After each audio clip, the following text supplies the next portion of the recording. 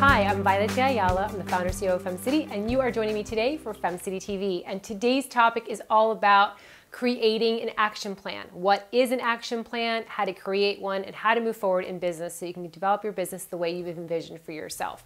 So, what is an action plan? An action plan is literally a roadmap to your goals. So, I'm not talking about business plans or, you know, creating these big, huge PowerPoint presentations on your business. I'm literally just talking about action plans, which are the directions to your goals. So, we're going to review today how to even start creating a series of action plans that help you grow your business. As an example, let's say you want to lose weight. You would then follow directions and action plans to get to your weight loss goals. If you want to go ahead and get a degree in journalism, you would then, of course, follow a roadmap or directions to get your degree. You'd sign up for school, you'd attend classes, you'd get good grades, and then you would graduate. So everything that we do in life has a series of action plans already in place. Whether we recognize them or we don't, they're always there and they help guide us to the goals that we have. So I'm going to go ahead and share with you three ways that you can start creating your action plans today. The first step is you need to know what your goals even are. So often we have um, goals that have come across and we really don't even know why we have those goals or really are they our goals or somebody else's goals for ourselves. So the first step in this exercise is to really think about what your goals even are. What do you want in your business? What goals do you want to achieve? What's the revenue going to look like? Really be specific when you're writing down your goals because the more specific you are, the stronger your action plans will align and the faster you'll get there. So that's the first step in this exercise.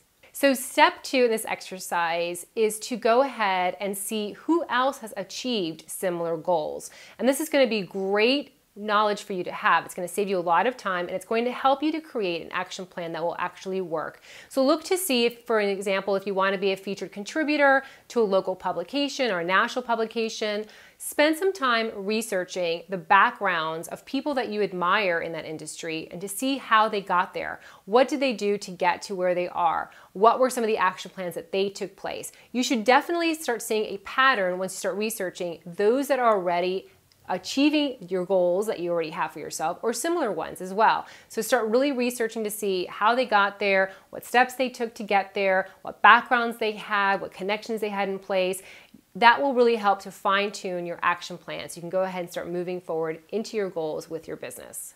So the third step in this exercise is to now really start creating the action plan itself. So now you've spent time really defining your goals, not being so vague, really being very specific. You've also now spent time researching to see what others have done to achieve similar goals that you have, what backgrounds they've done, what certifications they've received, what kind of experience they have. The third step now is to actually start creating your action plans. And a lot of times I see women that when they're starting businesses and they're starting to create their action plans, they create 500 action plans. Well, that's a little overwhelming. So just start off with like three to five action plans. What are three to five action plans that you can start doing today and start implementing them into your life, making them routine, making them a focal point, making them your roadmap, your go-to guide to getting to your goals.